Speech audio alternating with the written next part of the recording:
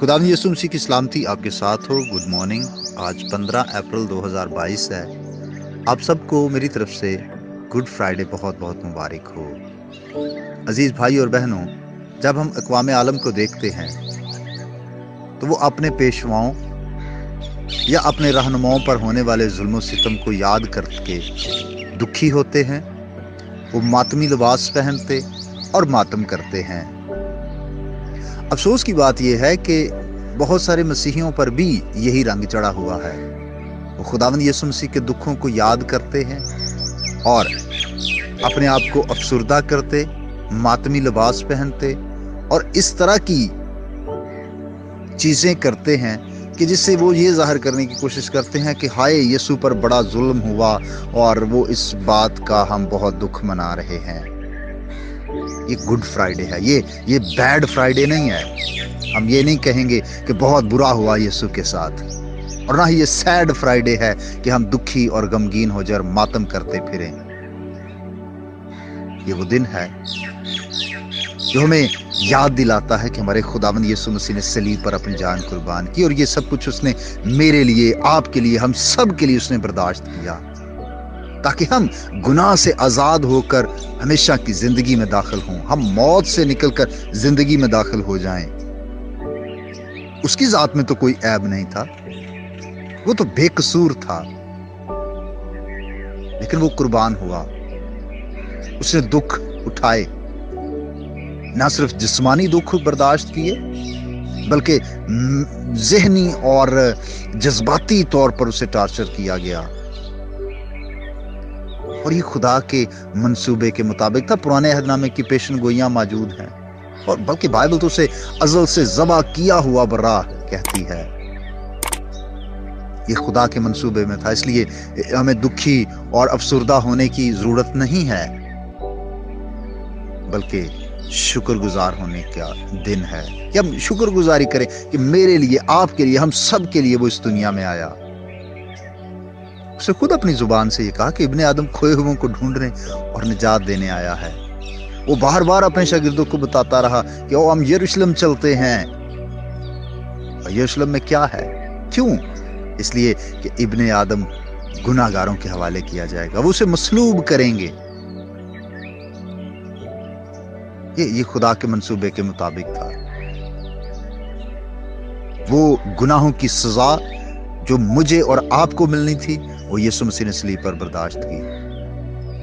वो जो गुनाह से वाकिफ ना था, वो हमारी खातर गुनाह बना, ताकि हम खुदा की रास्तबाजी को मुफ़्त हासिल करें। हमें निजात को हासिल करने के लिए अमाले अमाले हुसना की ज़रूरत नहीं है कि हम अच्छे अच्छे काम करेंगे, नेकियाँ करेंगे, देगे चढ़ाएँगे। नंगे पाँव यहाँ जाएँगे, वहाँ जाएँगे तो फिर हमें निजात मिलेगी। नो नो नेवर कभी भी ऐसा मुमकिन नहीं है। कलाम में लिखा है कि खुदा का बंदा जो रास्तबास है, वो ईमान से जीता रहेगा। हमें ईमान से मुफ़्त निजात मिलती है।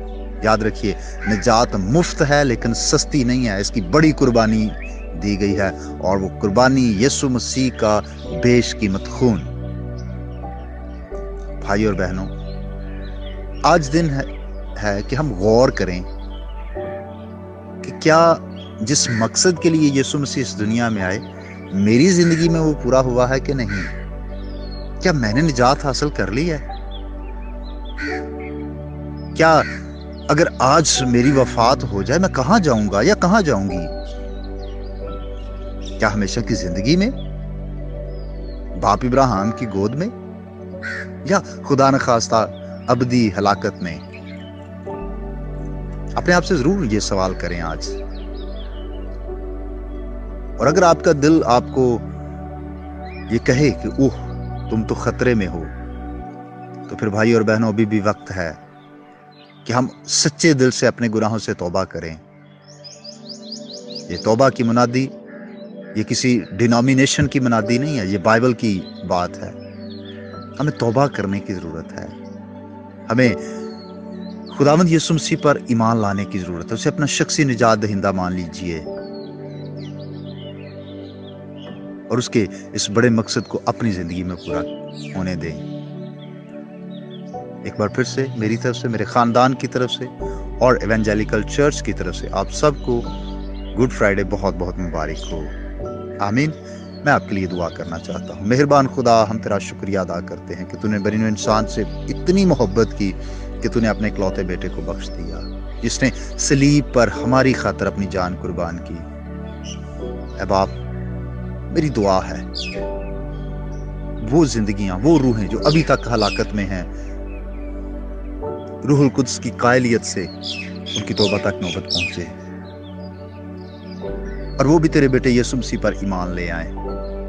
जो ईमानदार हैं, वो ईमान में और पुख्ता हों। जो गुमराह और बरगश्ता हो गए उनकी बहाली के लिए दुआ करता हूँ। जो जिस्मानी तौर पर बीमार, कमज़ोर और लाचार हैं यसु मसीह के नाम से ए खुदा, उन्हें शिफा और तंदरुस्ती अता कर। बिलखसूस, बहन इशरत के लिए जो पीएसी कामरा में हैं ए खुदा यसु के नाम से उन्हें तंदरुस्ती और शिफा अता कर। इसके अलावा भी जिन भाई बहनों ने दुआ करने के लिए कह रखा है, सबकी दरखास्तों को इज्तमाही तौर पर तेरी हजूरी में लाता।